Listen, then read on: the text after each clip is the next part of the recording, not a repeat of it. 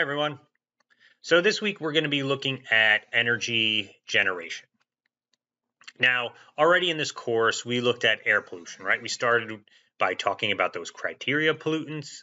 Then we looked at a uh, essentially a subset of air pollution, which is greenhouse gas emissions and their effect on climate change and the ramifications of that. And if we think about it, we can see that a link between them is energy and energy generation, right? If we if we look at our criteria pollutants, if we look at our greenhouse gases, we see that the burning of fossil fuels to create energy, whether it's electricity or fuel to power our cars, is creating the emissions that are leading to human health risks and our changing climate, right? So if we're serious about cutting down on air pollution, cutting down on carbon dioxide and other greenhouse gases, we need to look at energy and how we create energy and how we can change that um, to reduce those things. So that's what this week is going to be about. We're going to start with this first lecture um, going over some basics of what electricity is, how we measure it and generate it and distribute it. We're going to talk about conventional electricity sources, basically the sources of electricity that we have used for the past hundred odd years or so. And then we're going to talk uh, about oil as well as a source of energy, a little bit uh, apart from electricity generation. And then in part two, we're going to shift and we're going to talk about renewable energy, right? Where we can go uh, in the future away from this fossil fuel based um, energy. So to start, let's get some background. Uh, we're not going to go too in depth, right, in our uh, physics or chemistry here, uh, but I just want a little bit of background so you guys have an understanding of really what electricity is and how uh, we generate it and, and distribute it to uh, across the country or across the world. So if we're talking about electricity, essentially what it is is the flow of electrons from one atom to another in an organized way. And this is really an electrical current. If you remember from perhaps a chem class or possibly physics class, I don't recall if we've learned this in physics, um, but an atom, right, is made up of smaller subatomic particles, protons, neutrons, and electrons. Neutrons have a neutral charge, protons have a positive charge, electrons have a negative charge. Those protons and neutrons exist in the nucleus, which is at the center or core of our atom. And surrounding that nucleus in different shells are electrons, right? And the, the amount of electrons and protons and neutrons varies depending on the atom, etc. What also is important is that those electrons aren't necessarily stable where they are, right? They can move to different shells, outer shells or inner shells, and they can also move from atom to atom. Right? And this is also the, the likelihood of this happening uh, is dependent on a number of factors as well, particularly the type of, of atom that you have. So um, when those electrons bounce from atom to atom, that is a flow of electrons like we're talking about, and that is electricity, right? And it's probably easier seen in this little diagram that you have here. In this case, this could be a, a battery right here, and here's a light bulb, and we're going to power that light bulb. Well, what's happening is um, this battery is creating an electrical current. Like we said, uh, electricity is simply a flow of electrons. So we use typically copper wire because the, the makeup of copper atoms lends itself to electrons bouncing from atom to atom. And that's what you see here, right? These are, think of these as different atoms. And the electron is going to bounce from atom to atom. And as it does that, it creates this flow. And that ultimately is what is going to power our light bulb right? And how incandescent light bulbs actually work is so this is copper wire where these electrons can bounce really easily from atom to atom. But once we get into our light bulb, it crosses over. This is typically tungsten, right? Which um, is much more difficult for those electrons to to bounce or to move across atoms. And as a result, it creates heat. And as that, that metal heats up, it glows, and that's what uh, essentially creates light in, in your light bulb, right? It's just heat. It's why your incandescent light bulbs will feel hot after they've been on for a while.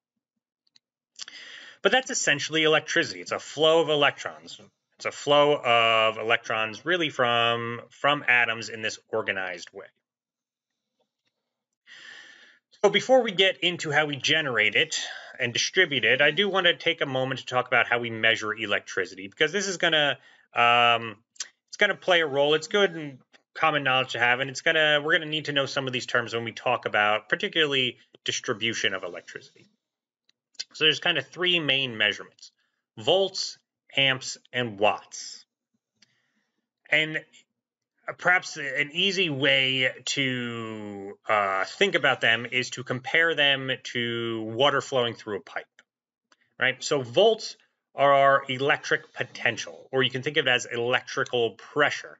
It's measuring how strongly electricity is being pushed through a circuit, and it's synonymous with water pressure, right? You can think of uh, if you have a hose or a pipe that water pressure is how strong uh, that water is being pushed through that pipe. Same with volts. It's how strong those electrons are being pushed through a circuit.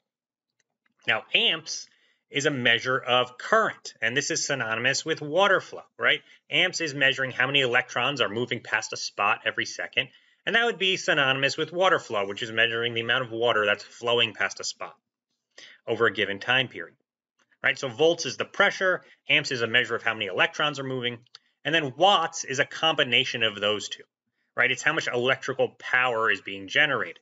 If you take into consideration um, the pressure, right, uh, of electrons being uh, forced through and how many are traveling through, you can combine those, and that's going to tell you how much actual power is being produced. Again, if we're using this analogy with water, you can take the water pressure and the amount of water, and that is going to dictate how fast a water wheel would spin and essentially how much work you could do with that water wheel.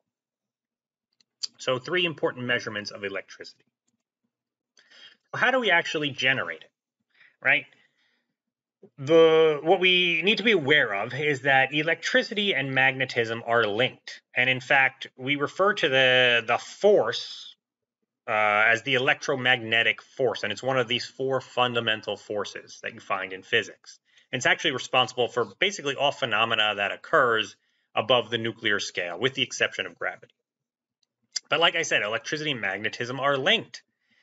And if you've ever had uh, maybe done this experiment when you were younger, um, you take a uh, copper wire, wrap it around a nail, attach each side to a battery, and that creates a magnet, an electromagnet, right? And that's this principle that we see here of electromagnetism. If you apply a current to a wire, it will create a magnetic field. And that's that uh, what you see right up here.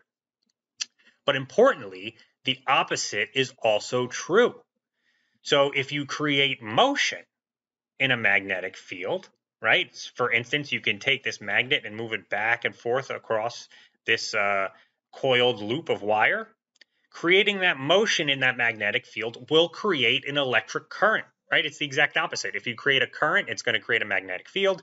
If you create motion in a magnetic field, it's going to create an electric current. And we refer to this as electromagnetic induction. And this is one of the primary ways that we generate electricity. Right, so if we look at an electrical generator, you'll see that it at least a simplification, there are two main parts. There's a rotor and a stator. Now that rotor spins inside of the stator, and that rotor is going to be an electric, uh, uh, an electric magnet. Um, the stator also uh, is magnetized as well, and by rotating that rotor, right, we're creating that motion in our uh, magnetic field, and that's going to create a current or create electricity. And that's essentially how a majority of our electricity is generated, right? We are creating motion in a magnetic field, which creates an electrical current. But in order to create that motion, right, we need to move that rotor. So how does that happen? Well, we largely use steam, right? It's actually quite simple. We burn fossil fuels, or starting in the 50s, we induced nuclear fission, and that heated up water, and that water turned to steam, and then that steam would spin a turbine which is connected to that rotor and that spins that rotor and that creates that motion in that magnetic field and that creates electricity and that is essentially how a majority of our electricity is created right? It's creating, we're just heating up water to create steam to spin that turbine, to spin that rotor, and that is it, right? Now, like I said, this accounts for about 80% of our electricity generation. We refer to this as thermal power, and it's how we've created energy or electricity for the past hundred odd years So then we've created it. How do we actually distribute it? And to distribute it, we use what is referred to as the electrical or the power grid.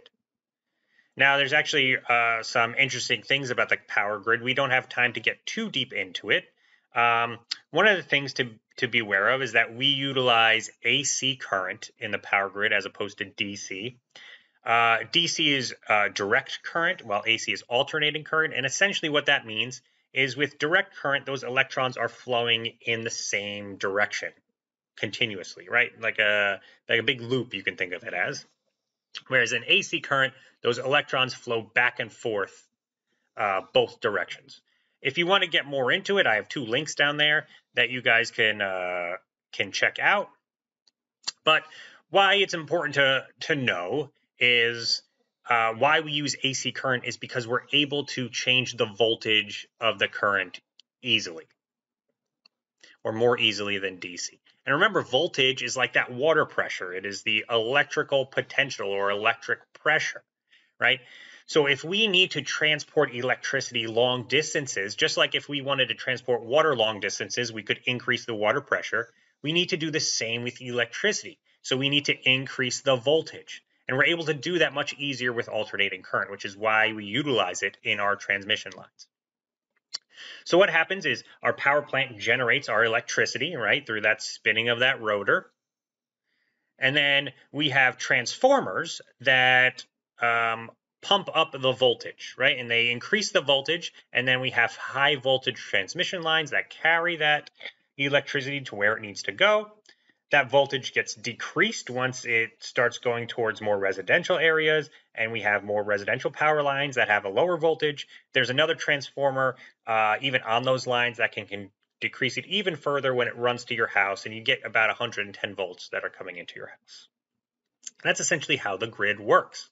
Now, uh, and when we talk about renewables in the next lecture, we'll go a little bit more talking about the grid and the need to upgrade it. Right, this grid is was largely um, created in the 50s and 60s, and it works well with our uh, forms of energy in the, that we were using in the 50s and 60s, right? Fossil fuels primarily. But as we've uh, advanced into different types of electricity generation, which we'll talk about, um, we need to update this grid to accommodate them and some of the issues associated with them that are different than um, traditional or conventional electricity generation. But we'll talk a little bit about more uh, more of that in the next lecture. For now, I just want you to have an idea of how this how this grid works. An important thing to note too is that you know this the there's there's not really storage of electricity either, right? So when you flick on that light switch, if you're at home and you turn on a light, plug into your laptop or your phone, that electricity is being generated at that moment essentially, right? So it's not like we're creating this electricity and we're storing it anywhere and then we can utilize it. It's being created and used in real time. So there are people that are monitoring these lines constantly to make sure um, that the we are having enough electricity generation and it's being delivered properly. So um, again, when we talk about how we can improve this, one of the ways that we're looking at doing is to making more of a smart grid that we have sensors and artificial intelligence that is better able to um, deal with uh, demand and supply um, uh, faster than uh, we have in the past. Anyway, we'll get more into that in the next lecture. Uh, so in the United States, we have two main power grids and then one kind of offshoot. Right, so you have your Eastern Interconnect that services the eastern half of the country, the Western Interconnect that services the western half, and they can interact with each other as well. And then you have your kind of oddball, the Texas Interconnect, uh, that is kind of stands alone. Now there are ways for these to actually interconnect as well, um, but they don't.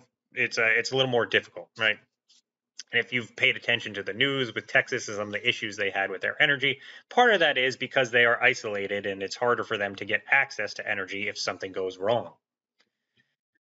So, um, just uh, information on the different types of grid that, that we find here in the United States.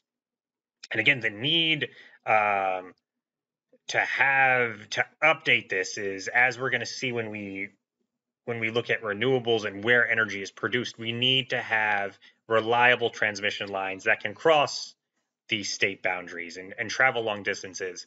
Uh, and to be able to access new areas for new areas of electricity generation that we haven't seen in the past. So we need we're going to need to update this uh, going forward in the future. So that's kind of some basic background information, right? What electricity is, how we measure it, how we generate it, how we distribute it through that grid. Let's now take a look at our conventional electricity sources. By conventional, again, these are the sources of electricity that we have used um, really historically, primarily are fossil fuel based.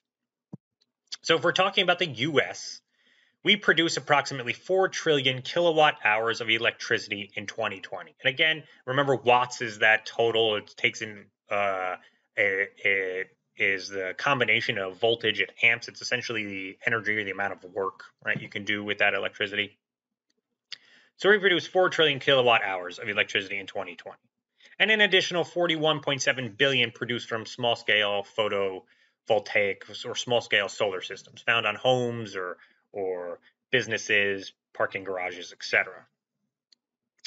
So of that utility scale electricity generation, 40% of it was produced by natural gas.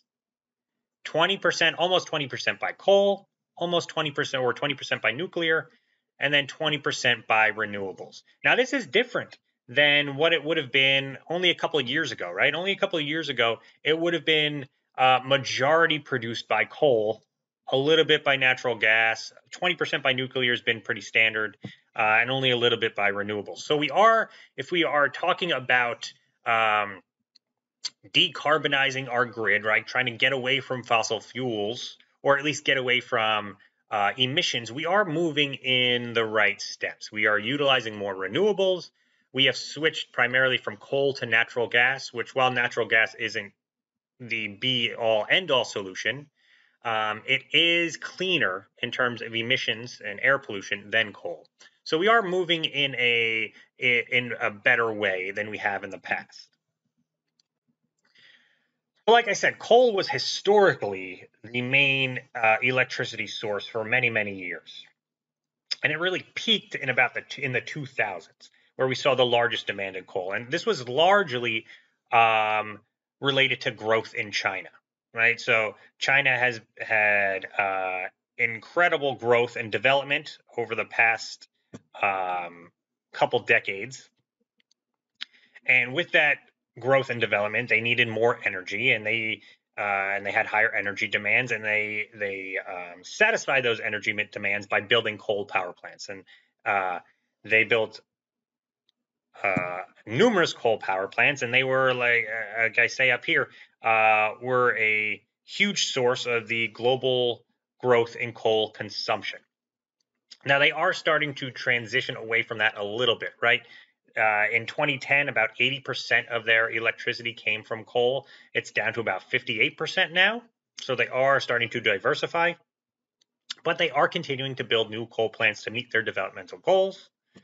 Um, however, they they've pledged to hit their emissions peak or their CO2 emissions peak by 2030 and to be carbon neutral by 2060. So they are still pushing coal. It is still their main electricity source, um, although they are transitioning away, and they do say that by 2060 they will be carbon neutral. We'll see how that goes. Uh, how that goes, right?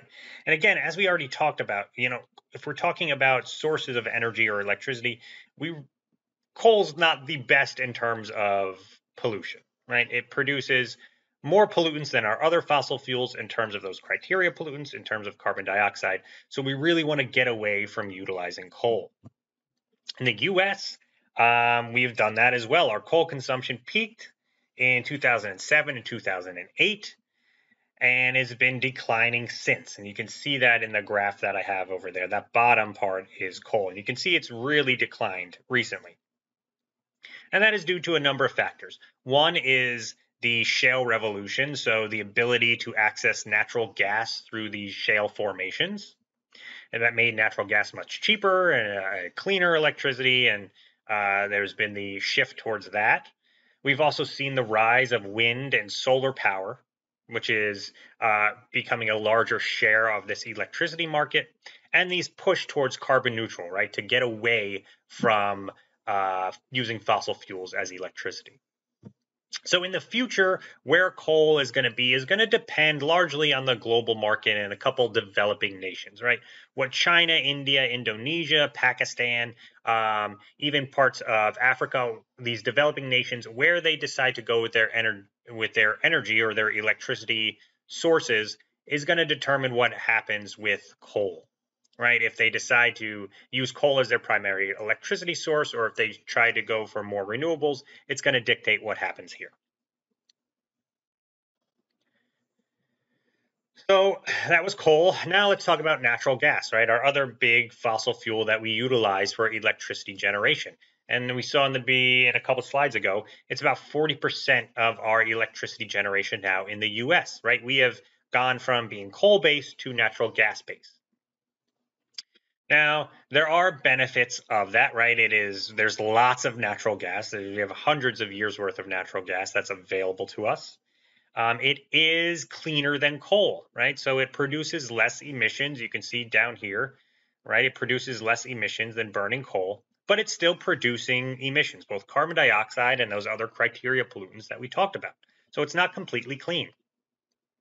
There are some other environmental effects as well, right? To get at to get at this natural gas, we use that process, that drilling technique called fracking. And fracking can be, um, it produces toxic waste or toxic wastewater that must be disposed of. And if it's not disposed of properly, that can lead to uh, large environmental effects, right? And if the drilling isn't done correctly, it could lead to these uh, really large scale environmental uh, problems while drilling, we can also eh, uh, encounter methane leakage, right? So methane is that gas, that greenhouse gas, really potent. It can these pockets can build up around coal beds and around these shale beds, and when you're drilling, we can release that methane into the atmosphere. So while it's better than coal, it's not without its problems or its environmental problems. And going forward, really, we could utilize natural gas as this transition towards cleaner energy sources right? So to get away from coal and to use it as an interim. And that's kind of where we see natural gas right now. Now there are some problems with that, right? To to utilize natural natural gas, you do need an infrastructure, right? So you need the the pipelines and the power plants and all of that. And this may act as a disincentive to going further into renewables, right? If you build up this infrastructure for natural gas and you start creating energy from it, and we have a lot of it available, then there may not be that larger push to keep going to even cleaner renewable um, energy sources. So it's why there is there are some folks that um, are for natural gas for this exact reason, as this transition reason. But there are some folks who are against it because they they fear that by focusing on natural gas, it's going to take away from focusing on really what should we should be looking at, which are renewables. So, um, and that's something that does need to be considered, right? If I think most scientists would agree that natural gas is this really good transition step. But taking into account human behavior and politics, uh, sociology, etc., there is the fear that if we focus too much on natural gas, we'll never get to that renewable as well. So, something to be aware of. Another main conventional electricity source, at least since the 50s, is nuclear.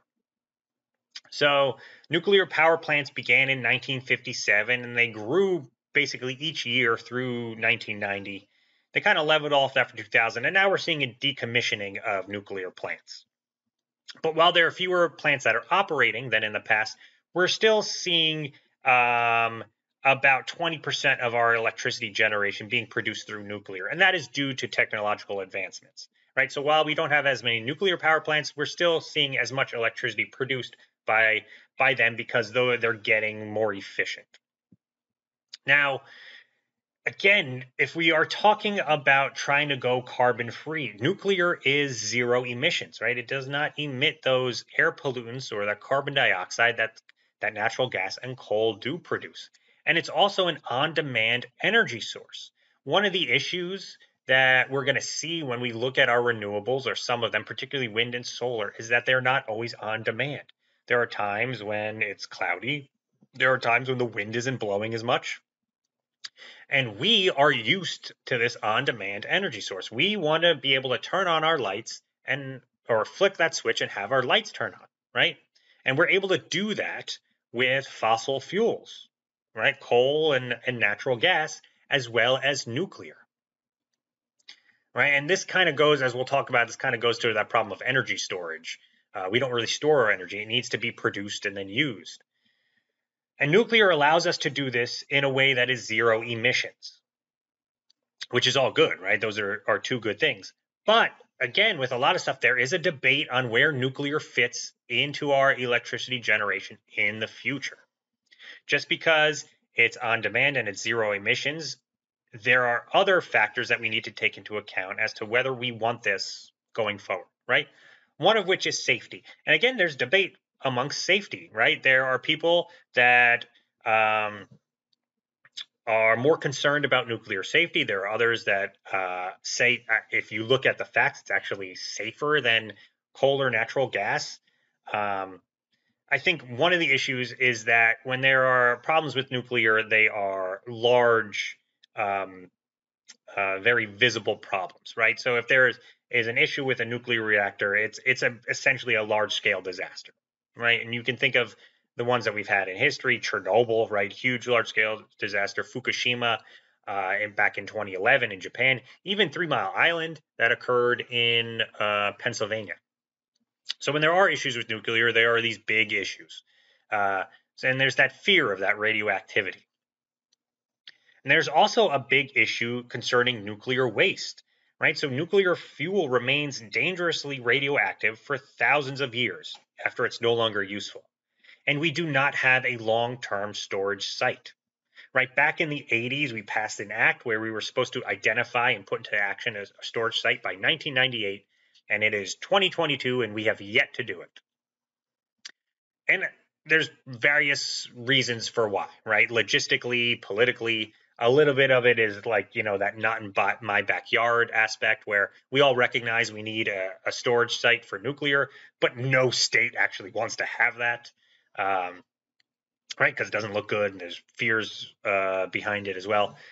Uh, so we've yet to come up with a, a, a a satisfiable long-term storage site. And that's something that really needs to be developed. And it's something that we need to do if we are going to utilize nuclear going into the future. And part of your homework this week is to actually read about nuclear and kind of talk about what you think, right? Should this be an energy source in the future? So those are our three main electricity generating sources, right? Coal, natural gas, and nuclear. We're going to talk now about oil or petroleum. Now, oil does not make up a huge percent of how we generate electricity right? It's maybe 1% of our electricity generation. But if we are talking about energy consumption, just total energy, not just electricity, it is a huge portion of our energy consumption, more so than our other ones that we talked about, more so than natural gas and nuclear and coal and renewables.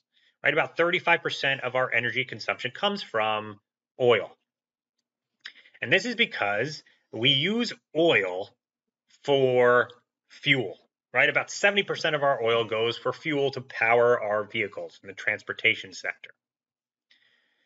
And if we are serious about cutting down emissions, we need to address oil as um, as a way to do that, right? Or, or what we can do as fuel um, to cut down our emissions. Because if you look down here at 2019, our emissions uh, most of our emissions by sector came from the transportation sector, right? It's the burning of of oil or refined forms of oil, right? Gasoline that is contributing largely to our emissions. So we need to come up with alternatives for or fuel alternatives if we are really serious about cutting down on our carbon emissions or going carbon neutral uh, in the future. And that is something that we are going to look at uh, in the next uh, lecture when we look at part two. So that's essentially for it, right? I wanted to give you guys some background on electricity, some of our conventional, mostly fossil fuel based uh, electricity and energy sources. And now going forward in part two, we're going to look at renewables and where we can go in the future to really decarbonize this entire sector uh, and make it more environmentally friendly. So that is it. I will see you guys in the next lecture.